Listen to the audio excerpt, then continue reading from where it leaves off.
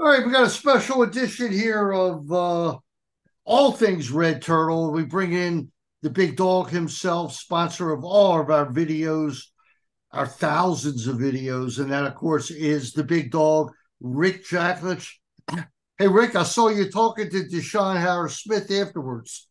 Is he going to be your next uh, uh, spokesman after Raheem? Boy, he's like uh, rocket pre-launch. You know, his uh, potential is amazing. What a great kid. We, uh, you know, we met all the freshmen in in Italy when we went over with the team, and he's uh, going to be such a special player. Bruce in Italy, you know, you really saw how he blended in with that team. He never forced anything. I think he waited the whole first quarter to even take a shot, but he has just a really high basketball IQ. He does everything well. You saw last night the one shot that he blocked. Uh, he's a good shooter. He's got a great NBA ready body right now. He's just, uh, you know, you saw him last night. I think he had 10 points in the first. He had 12 points total. And he's just like a stat stuffer, you know, rebound steals. He just does it all, high IQ. And for, uh, you know, for Kevin Willard to start him as a freshman, first game tells you everything you need to know about what a good player he is. Rick, I have to tell you something. I you you already had told me how good he was when you saw him in Italy, but I'm gonna be honest with you, you don't really believe it till you see it with your own eyes. And number one, this guy has a motor that doesn't stop. All right, he is just. And the thing that got me, and you meant you just mentioned it, is how unselfish he is. All right. In other words, he had that great drive to the bucket where he might have taken a layup and he hit someone for a three, one of the few threes that the team made. And you look at his line, all right, four for six from the field, uh, four for six from free throws. Uh, let's see here, three rebounds, four rebounds, two assists, uh, one block, and uh, one block and two steals. Did so, a great job on the press, even without the steals. You know, uh, and the three freshmen, you know, I'm calling Kaiser and uh, Jonathan Lamothe too. They're so quick, and the three of them on the court on a press, that's trouble. And last night they had Mady out front on the zone. That's a lot of lead. you, have remember, you have to remember something else about this squad. Those kids, it's their first game. You know, there's there's nerves, there's over anxiousness, there's everything, and uh, you just you have to understand that after a few minutes, the way that he played, and then it kind of took Jahmir a while to get into it. You know, it's a whole new dynamic here, and I think that I think that he ran into problems a little bit with uh, who was on the court at the same time. I noticed he was a little frustrated at the end, but I'll tell you one thing. You talking about Jahmir? Yeah, not Jahmir. I'm talking about Willard. Willard at the end of the game uh, he just had a frustrated look, and I heard him speaking with Johnny afterwards. Uh, he just like you know, and then once again, you know, let's start off right down the line. Julian Reese, what do you say? Eight for eleven, only twenty three minutes. But Rick, this guy's got to learn how not to commit a foul. All right. Well, I think he did that last night, Bruce. I think he only had one in the first half. I think he only had two for the game, if I remember right. Rick, um, Rick, he had four. Hey, four. He had four. I take that back. And he had four. He had You're right. with nine minutes left, and Willard left him in the lineup. He almost. You're right. You he know, had one in the first half. He did have four, and you're right. You're right. So, um, and they were the all, one foul was silly. I mean, that was just a terrible call. That wasn't a real foul. I mean, that was just silliness on the ref's part. We're not, we're not going to win with him on the bench. You saw it last year when we played Alabama everything was fine until what? Until he got in foul trouble. Then the game was over. The game was over for all intents and purposes. Uh, but he played great 18 points, uh, eight rebounds. Uh, let me see. He got a couple turnovers, but two blocks. He dominated the game. Then, of course, Jahmir Young, always when it mattered, he was there. He gives you that senior leadership. I, I think, though, would do you think there'll be some adjustment that he's not going to be a guy who gets in the 20s anymore that much, is he? Well, they don't need him to get in the 20s, but it's interesting. It looked last night uh, you know, the freshmen were smoother than either Donta or, or Jahmir.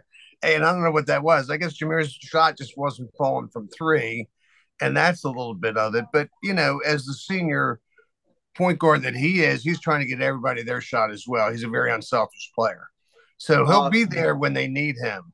I mean, he's a special, special player, and having other shooters like Kaiser and uh, Harris Smith on there on the court at the same time, that's going to make Jahmir better as well. Yeah, no doubt. Donta Scott, 35 minutes, played more than anybody, uh, except Jahmir. Jahmir also played, well, he played 33. Uh, Donta Scott, you, you thought he was a little bit off his game. He had nine points, only right. two rebounds, but he he tends to have that sometimes. And uh, again, again, he he kind of when he gets inside, he's pretty tough. I got to tell you one thing: Julian Reese is almost unstoppable inside. He's right? got some nice moves now. He's great moves. Everything just lays into the net easily.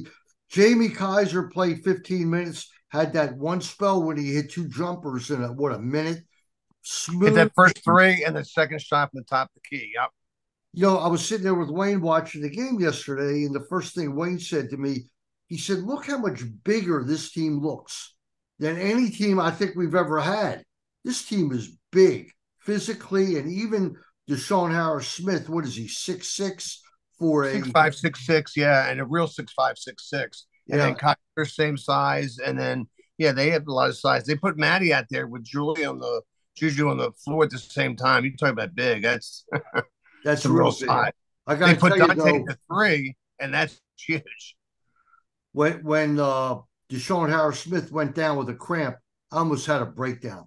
I said, "This can't happen." Right, yeah, because you never know what can happen. What's wrong? when he first went down, that it's all wrapped up. Do you know what it is, Rick? Or the cramp? No, the left leg was all wrapped up.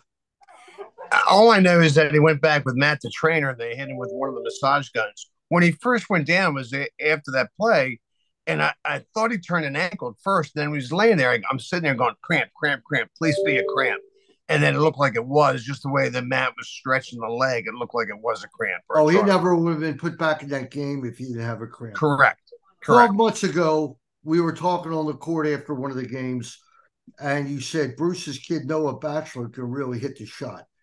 I got to tell you something. I understand he takes 500 shots a, a day. Well, he was oh over 2 last night. I'm waiting for him to explode. I think that Willard really likes him likes the way he plays. Got to hit his shots, doesn't he, Rick? So Bruce, yes, he does. He's a kid, local kid out of Frederick. Uh, comes in last year. Every time I saw him in practice, he was lights out shooting a three.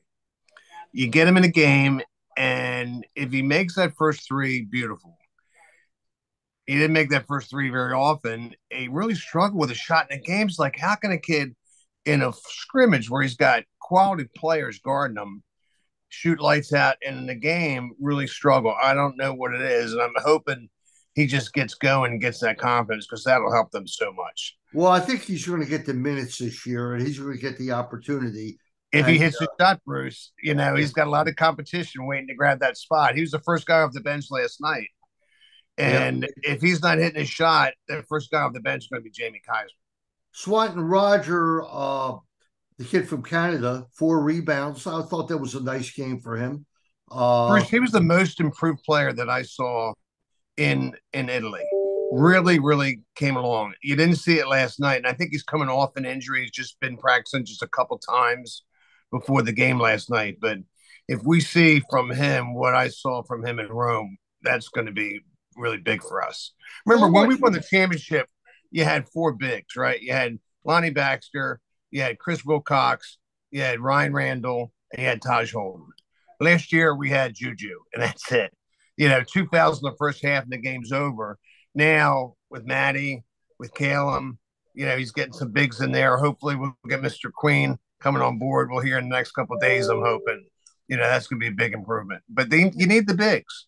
Rick, who puts on a Maryland uniform and poses with his parents and doesn't commit? I don't. I don't get that. I swear, I just don't get it why he didn't commit. But uh, let's hope it works out. Uh, I can tell you this: he's got Juju and uh, Jonathan. You know, the St. Francis boys working them hard. I, am sure. I'm sure they were. And I did notice uh, when Lamothe came in yesterday, another guy with a big motor. I mean, you know, he really didn't get much of a chance. He only played three minutes, but his time will come. And uh, you know, it's tough as a freshman to break in, but this kid, DeShawn Harris Smith, and I, I don't know any of the numbers on NIL, but I heard he got the big numbers, and now I see why. I will tell you this much in my eyes, and I've watched a lot of basketball in my day and played a lot of basketball. Uh, we'll be lucky to keep him for two years. He's that. I think he's that good. He is that good potentially.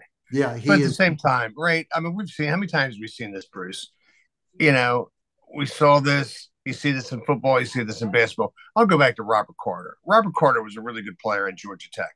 Comes to Maryland, really good player. Okay, he goes to NBA camp, and they tell him, you know, you're probably second round pick. Okay, he leaves Maryland, goes into the draft, Mm-mm, doesn't get drafted, you know, it's only the first round that you have the guaranteed money.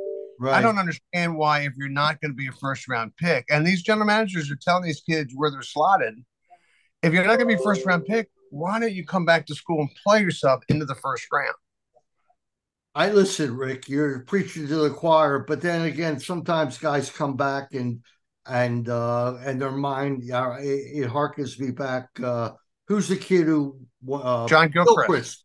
Yeah, should he have come back? I mean, you don't know. I think when the NBA comes calling and you're going to be in the first round, you have to go. You know, if you're going to be in the first round, you have to go. I get that, no doubt, no doubt. Let's we're putting the cart way before the horse, so let's not worry about that now. And you know, give the Mount some credit. And you know, it's funny when I got home last night, I said, you know, this team looked awful good uh, last night, and they hung in there, even though at one point they were down by 25 or 26. And I noticed they beat Bucknell in a scrimmage. You beat Bucknell if you're not a good team, you know, a, high mid major like that. So uh, give them credit, give the coach credit. One thing I've noticed, and maybe you can, I know you're, you know, I, I'm certainly friendly with Coach Ward, but you've been with him a lot. Seems like every coach in basketball loves him. You know what I mean? When I see the greeting after the game, win or lose, you know, it's like a warm, you know, thanks for inviting us. You know, I know Matt the Mount got some money last night for coming, I would assume. And uh, you know, they don't even mind taking a shellacking from them. Okay. Uh, well, what is shellacking? I mean, it's a good thing Maryland was playing the defense they were playing. I mean, we kept that team, I think, the 34, 35% shooting from the field right. and shut down big score. So I think Kevin's probably really happy with the defensive effort. The turnovers kept that game close. Well, Too now we got three games coming up. Okay, right? Are you, are you going to Carolina, or are you going to sit that I one? Out? I can. I'd love to go down there. We got Davidson Friday night, and they get the winner of uh UAB and Clemson. Exactly on and Sunday. If they played like they did last night, although in fairness to Coach Willard, he gave everybody a chance last night. He really did, and I and I commend him for that. Uh, yeah, the walk-ons don't get the chance, but that's life. These are the scholarship kids. But uh, if you know they go down and play like they did last night against Davidson, all right, with 15 turnovers, they're going to have their first loss. And I don't think that would be the end of the world. Okay, I really don't. I I can't see them going through Davidson and Clemson or UAB Clemson's rated exactly where they are. Maryland's 32nd, according to Jay Bilas. And even though he's a Dookie, we have to respect him. He's a pretty smart guy. And he's got uh, Clemson 35th. So if Maryland could get through the next three games and then at Villanova and be two and one, they'll be in great shape if they can do that. All right. And that's not, that's no guarantee. Uh, to go to well, Villanova. To go to Villanova on the road is a tall task. Absolutely.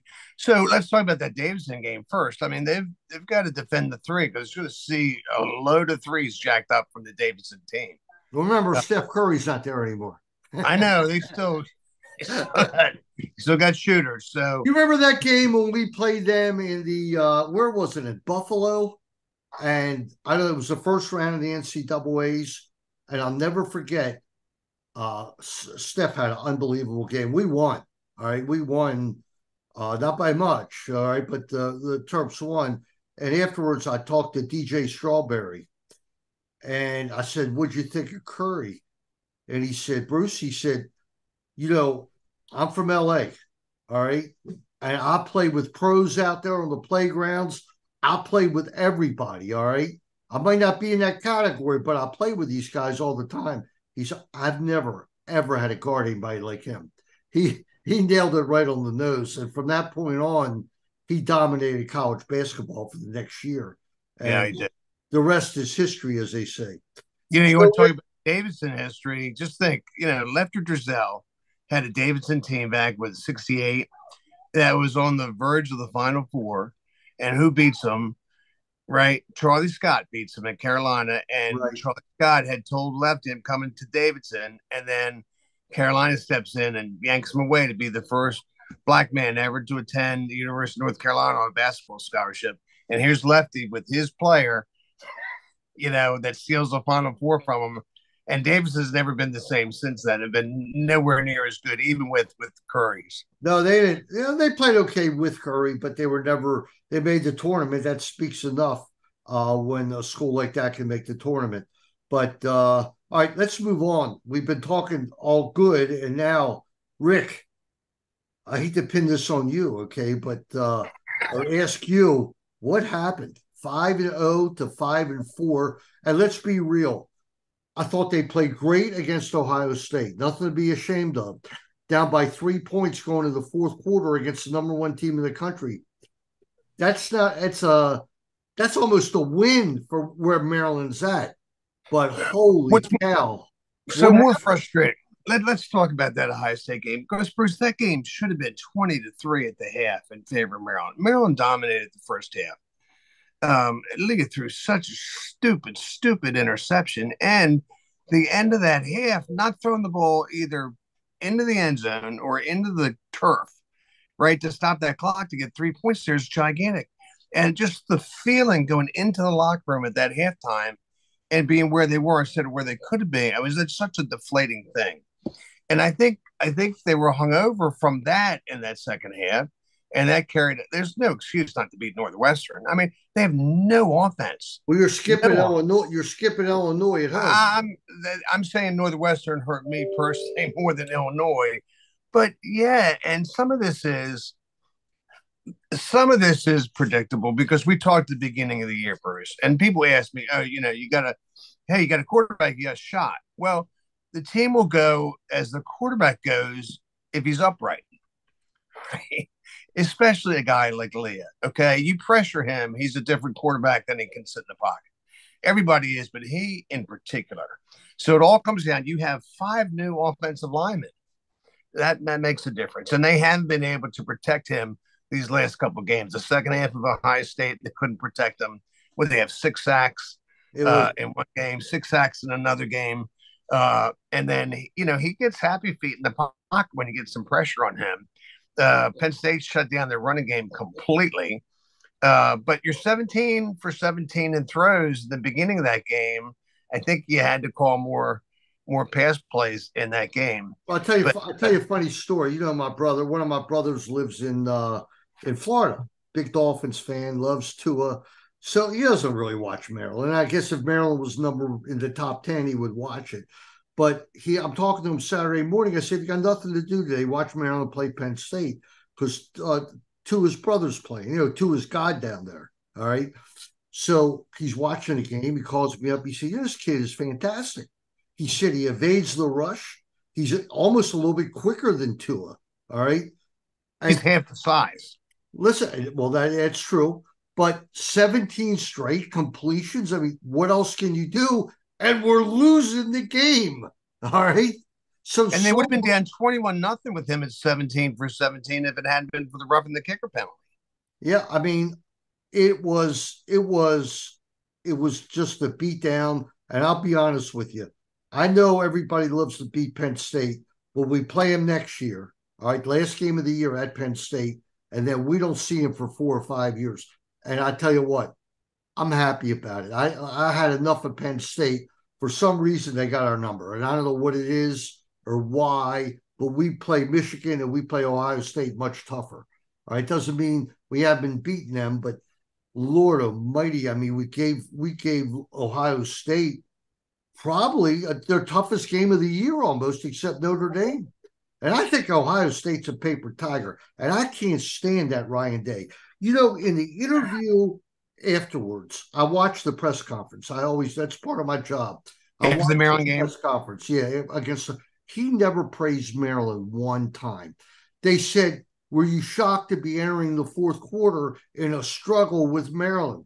He said, "Look, it's strictly because we played bad." What kind of answer is that? The teams in the conference, the teams fighting to get ranked. And by Maryland getting ranked, it only helps Ohio State. Okay. I was so, I tell you what, I was so mad that I can't tell you. I, I, I didn't want to ask Locksley about it because that's putting them on the spot at the press conference on Tuesday. And then I kicked myself for not doing it because I was so mad at him that I can't explain to you. And another guy you got to be mad at right now, I'm going to ask your opinion on this. Look, you and me, we're we we thank ourselves every day for having John Harbaugh coaching this team. Yeah, we are. Great. I know analytics. Well, he learned his analytic lesson. You know, he uses his field goal kicker now. All right. But what a prince of a guy. But the brother, you know, I don't get it. What's going to happen with that, Rick? You think? I tell you what, I hear the other coaches. You saw the Rutgers coach barely shook his hand. All right. right.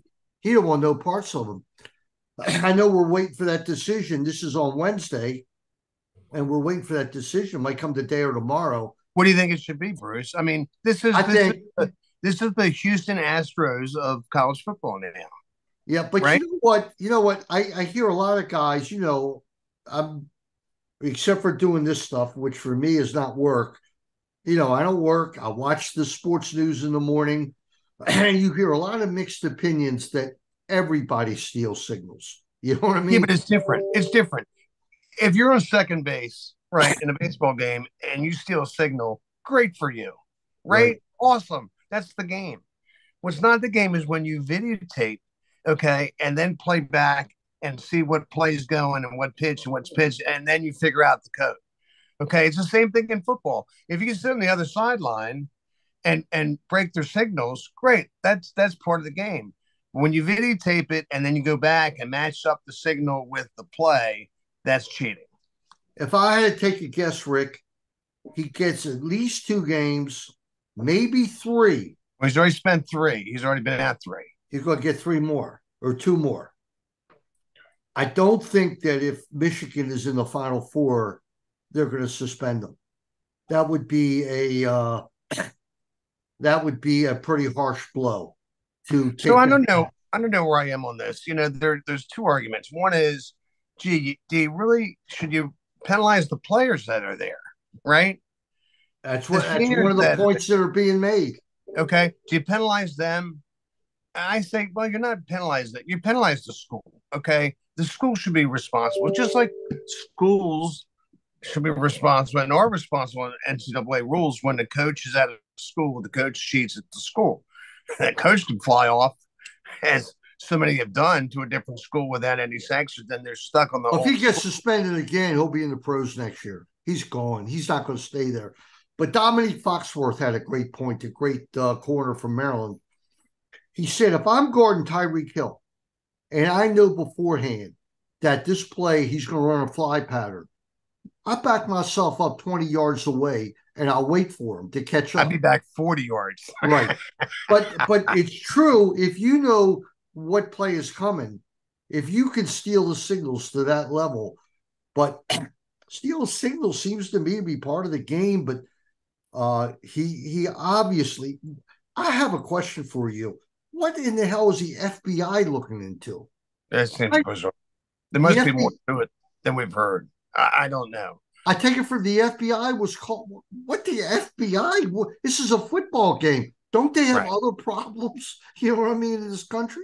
You know. You yeah, you would think so. FBI had been so hot the last four or five years. I don't know what they're doing. I don't know what they're doing looking at football, stealing signals. I mean, that's uh, it makes no sense. Uh, all right, Rick. Here's the thing, and I'm worried about it. Do the Terps get the sixth win? I mean, what does I know your heart says yes. What does your mind say? I mean, nobody's closer to this team than you are. I mean, you travel with them, you do everything. You you know Saturday's a big Saturday's a big game.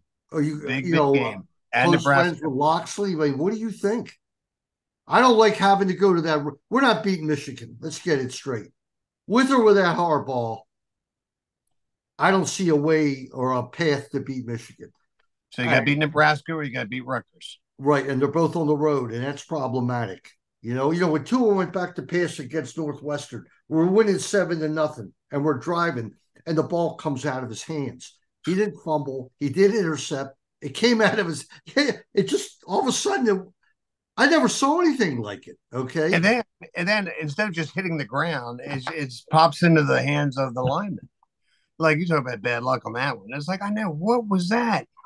This is Northwestern. I don't care how good they played that day there's just no way talent wise they're on our level. And truthfully, they looked like they had better talent that day but as the game wore on.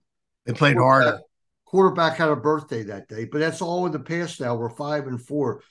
But we sure don't want to lose the next three games and end this season five and seven. I mean, that would be that would be big. You get to six, go to a bowl, maybe it's a quick lane bowl or anything. And, as you know, Bruce, it's the hangover from something like that on the recruiting trail, right? Just imagine they lost a few guys already. Somebody committed, decommitted today from Texas, you know, which I'm sure hurts Locksley. But look, just Locksley, imagine it if you're in a kid's living room this week, right? It was between you and Penn State. Just remember what the kid's hearing from Penn State and what he, you know, what he's hearing from his buddies. He was trying to decide between these two schools. There's well, a hangover on this, you know, on these games. It's so important on the recruiting trail. You know what's funny about uh, what's that? Who was talking about? Andy Katz was talking about it after Michigan State uh, lost to uh, everybody. No, they lost to James Madison in basketball, and Andy Katz says, you know, in football, if you up, open up your season, you're a top twenty team, and you lose a game like that, your season's done. You know what I mean? you're cooked. In basketball, it doesn't mean a thing. All right. Like Maryland loses to Davidson, the world's not coming to an end because it's all about the conference schedule, the 20 games in the conference. But uh and getting better through the season.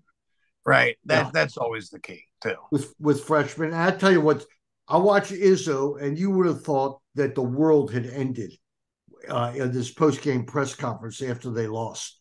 He said, I'm shaking up this team and Nobody's got a guaranteed starting position. My guy who scored 35 points, he doesn't have anything guaranteed. He said, I got to see who really wants to play. And it's the first game of the year. That's a little drastic, you know, against, uh, and you know why he took that game, Rick? I don't know if you read about it. His uh, sister's son, his nephew, is on the coaching staff at James Madison. And he said, you know, uh, Uncle Tom, can you, yeah, can you do us a favor and get us on the schedule? And he did. And look, he's out of the will though. Huh? Izzo wrote him out of the will the next day. You know. but uh whatever, you know. Now there's the class coach for you. I, I, I, I admire him, him, so much. He, the and one thing I, I can't stand about him is the way he works the refs because it's effective.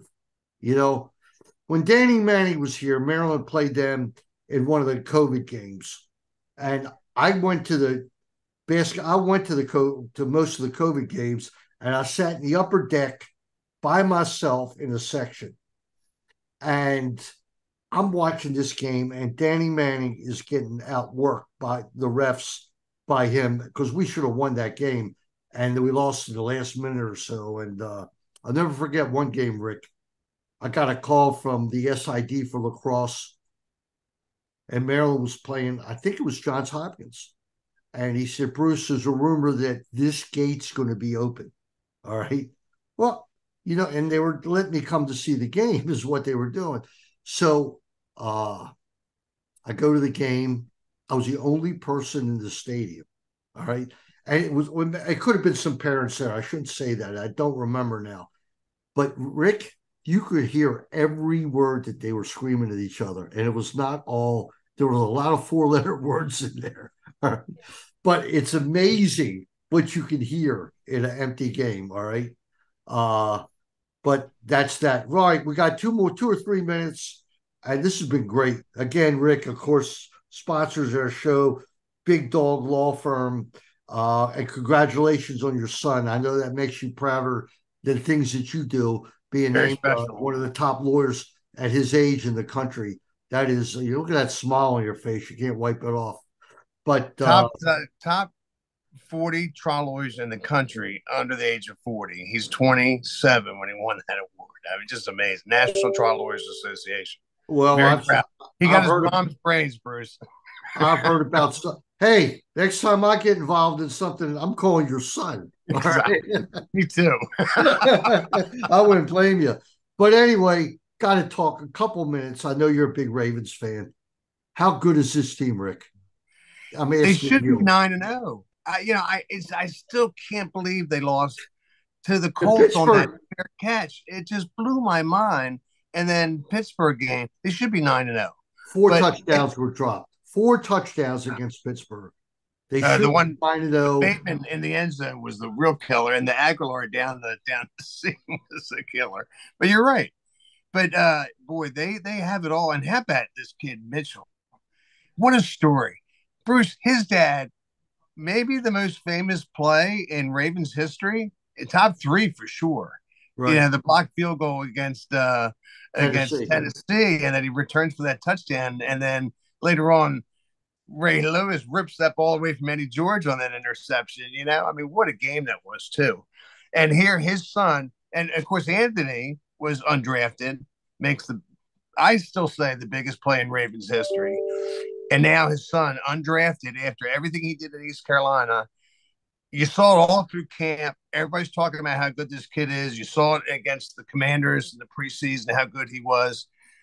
Gets injured, he's got the hamstring, got the shoulder injury comes back nine carries for what 135 yards.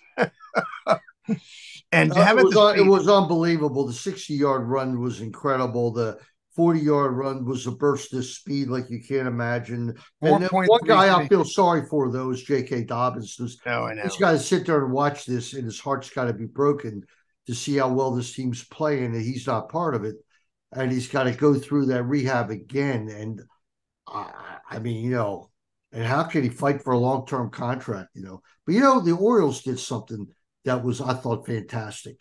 They know I don't know if you're aware of this, but they've already said that unquestionably Bautista's out all next year. Right, it's not even a question. He'll be back for spring training in 25, and yet they extended his contract. All right. So in these two years where he's not playing, or the year he's not playing, he gets paid. And look, you never know how you recover from Tommy John. But right. I think uh, but but Elias has done this before. He's done this two other times. One with John Means, right? He signed Means for a lot less than he could have uh, long term because he's smart and went to him when he had the Tommy John surgery and locked him up. So it's just Mike Elias being super smart again. Can he? Let me ask you a question. Do you think they're going to be able to lock up Adley and Gunnar. I hear they really want to. But they have Scott to. Bor- but Scott Boras, oh my God, Rick, he's impossible. He will Bruce, not. When salaries are going, deal, you know, salaries are going like this, get them here. Don't wait to get them here. Okay, Peter Angelos never learned that. But, well, they signed Corbin Carroll. I think he got like what 19 a year, million a year for eight years. That's what they got to do with Gunnar and Adley and just say he's well, worth it. They're both worth it. They're generational players. You can't have a more important position in baseball as a single guy to me than a catcher, right? And now you have a kid like Henderson, who's what 23 years old. You can see he's going to be a super, super, superstar. He had 28 homers this year. I mean, what else does he have to do? After batting 190 for how long? For the first month and a half. I mean, right, right 28 of those home runs were like you know end of May on. Uh, and he can play second, he can play short, he can play third. Uh, he's a gold glover everywhere potentially. Uh, you have to sign that. He's going to be an MVP of the league multiple times. You have to sign him, Bruce. And you know who else? You know who else is signed up with uh, Scott Boras? All right, the truth, Mr. Jackson Holliday. He is the truth, Rick. I mean, he is.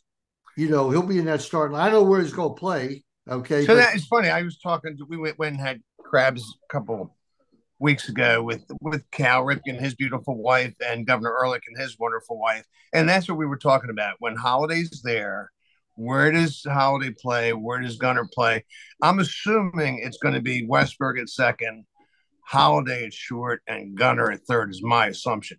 But I was talking to Cal about how, and this was early in the season, how what did Cal Gunnar, say? I'm curious. So I said to Cal, you know, hey, I think a lot of reasons why Gunnar had struggled early on was because he's not locked in at one position, right? You you're second, then you're third, then you're short, and he agreed with that, and he thought, you know, he's going to be a superstar shortstop, and he thought once he got locked in, he'd settle in and really start hitting. But that's before you really realize Holliday's going to be on that team next year. I mean, he flew completely through the minor oh, leagues.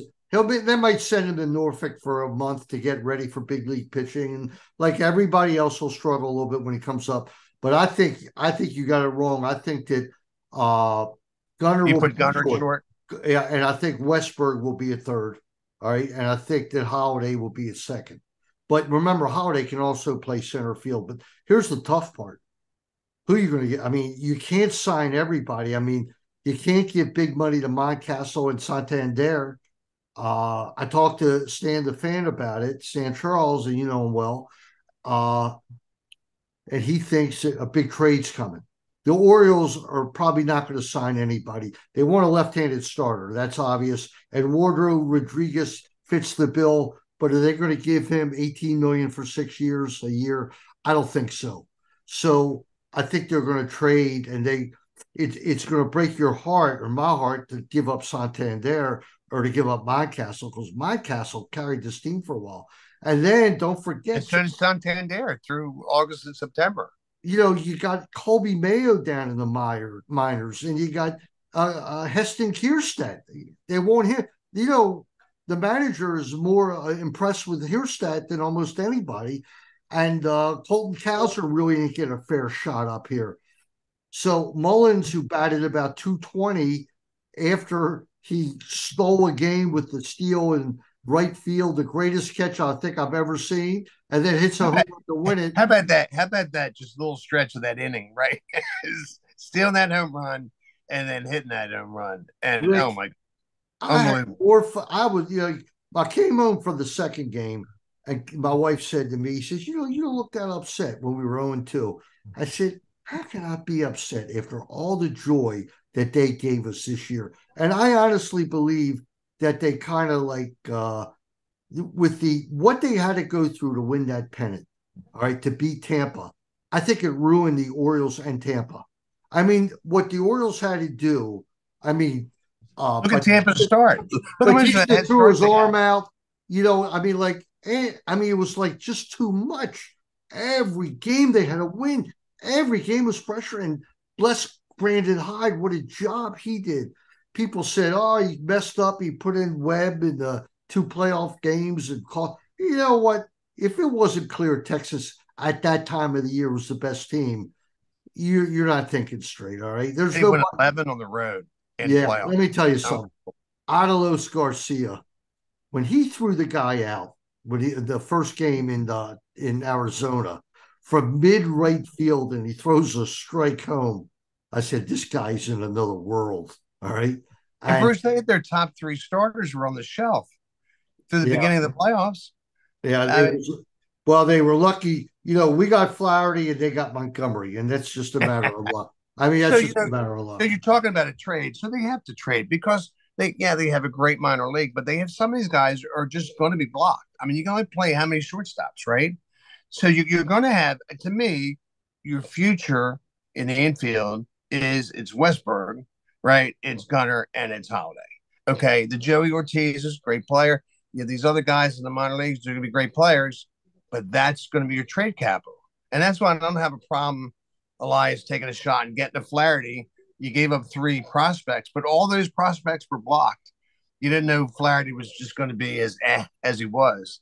But that's what they got to do. They got to package some prospects and go get a number one and a lefty or whatever. But I I trust Elias, and you got to remember one thing. My final comment today: that's the guy you got to resign. All right, is Mike Elias. All right, because this guy, this guy is the real deal. Hey Rick, this was great. We're going to do this periodically now. It's always fun, Bruce. I love you. review everything. We'll get it up on YouTube and on the site and everything. And as always, we thank you for your support and more so for your friendship. Me and you've been friends a long time now. And uh Bruce, remember how we met? We met, I know how it was at the bowl in San Francisco at Tadich's. It was so ironic. You I was with my son-in-law, all right, who is uh a lawyer for Venable now. And uh we were eating. I told you what to order to get the, uh, the clam chowder. I, I, remember like it was yesterday. I still remember right? that bar in San Francisco. What was it? The Emerald Bowl or something? The Emerald yeah, exactly right. Exactly right. right. We're in San Francisco and then went up to Tahoe after that bowl and went skiing with the kids. It was just a great, great time. Great time. That, that's how we met. That's funny. And you said, you know, I know you. I knew you from somewhere. You said but it was funny. But the look, look, at accidental, but we'd have become friends anyway. There was no way that we could not. Uh, and you know what I love, real quick before we go. Uh, I love how Gary Williams comes to every game. Isn't that beautiful? I, isn't it good? I mean, don't you get a good feeling when you look and you see the legend sitting there? You Absolutely. know, I'm sure you've talked to him how much he loves Willard, and uh, you know, They're so alike. They're yeah. so alike in so many ways. It's so great to see him there. Rick, thanks so much. We'll sign off and we'll do this again when when we feel it's time. Probably with you know, let's try and make it a monthly thing or a tri-weekly thing, okay, buddy? Beautiful. Absolutely. Thanks, all Bruce. right. That's it for today. Remember all our shows and terptalk.com. Good uh, Terps. All right.